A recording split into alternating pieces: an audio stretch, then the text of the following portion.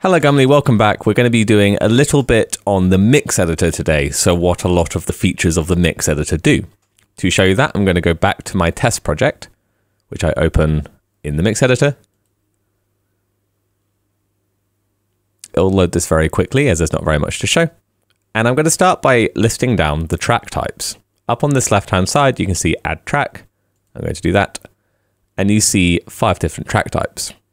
As you'll see from the green options, they are both MIDI options, which means that they are using MIDI data to create sound. For instruments, that is a general MIDI sound for any instrument. And for drum machines, it's a more rhythm based UI that helps you create beats and rhythms really, really quickly. Voice slash microphone is a normal microphone input, which will use your laptop or computer's microphone to capture any sound.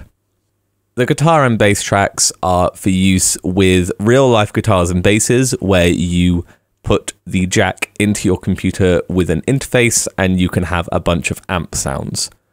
It's very unlikely that you'll be using the guitar or the bass tracks as you are not likely to have an interface.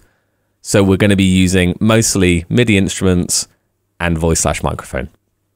I'm just going to run through a couple of the things to keep in mind whilst you're using BandLab. At the top, you see this options bar which allows us to download our tracks, create a cycle or a loop.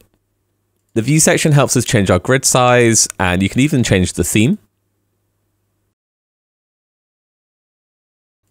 Under settings, you can enable your metronome and change your metronome, and there's a whole bunch of other settings here.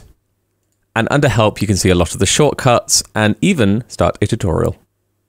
In the navigation bar, which is this line at the top, you can control whereabouts you are in the track.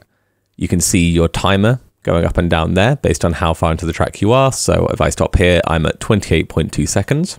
You can press play and pause, and you can record. In this center section, you see more of the project settings. So we can change the key. So I can go into B flat major. You can change the tempo, which is in beats per minute. So if I type in here, you'll be able to see it change up to a maximum of 240 by the looks of it and down to a minimum of 40. This is the time signature, which can be changed by clicking on the top or bottom one and then changing it to one of the pre-designated numbers. Just right of that are the metronome settings where you can turn them on and off. And also there is a tap tempo and a bunch of metronome sounds which will change. Let's try this one.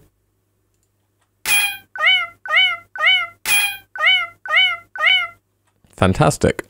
At the top here, you see the master volume for the entire project. And over on the far right, as we saw before, was our save button. Moving closer to the track itself, you can see it's got a mute button. It has a solo button. It has this volume slash level. Uh, this is panning, so for left or right. And we see this drop down, which can change a whole bunch of settings. So we can rename it. Hello. We can change the color of the track, which will be when we're recording. It will come up in a lovely purple. Which helps us separate out uh, tracks that are quite similar. There are also a number of presets in here for easy access to effects and reverbs, etc. And there are also a number of settings for moving the track up and down, duplicating and deleting. We're almost through with the breakdown of the mix editor, but I'm just going to show you this section at the bottom.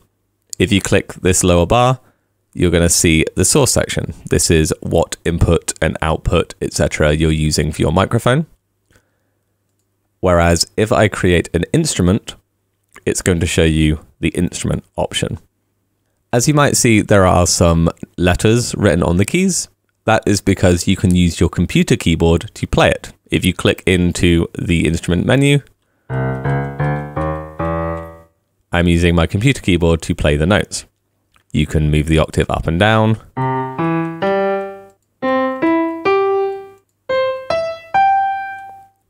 And even change the sound in this left window. And there's a whole bunch to choose from. It's definitely worth playing with yourself. Next up, I'm going to show you the effects. When you click effects, you see that there's absolutely nothing here at the moment.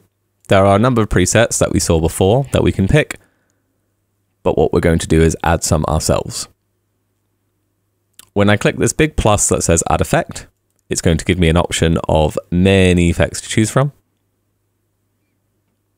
I've decided that I want to put a reverb onto it. So I'm going to go to reverb, studio reverb. Now I have the reverb set up. And I can change how much I want it to be in the mix out of 10. The size of the reverb. And color, which usually changes something like EQ. Sounds pretty wild. There are a whole bunch of effects that you can play with, and I definitely recommend that you test them out because you'll get much better at using them if you have more experience. That is enough for this little breakdown. We're going to get into more specifics for our project in the next lesson.